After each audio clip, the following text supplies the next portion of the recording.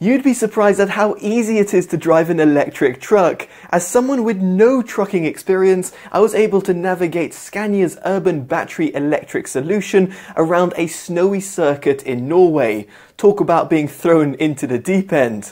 Now the question is, do you think e-trucks will be a viable solution for commercial transportation?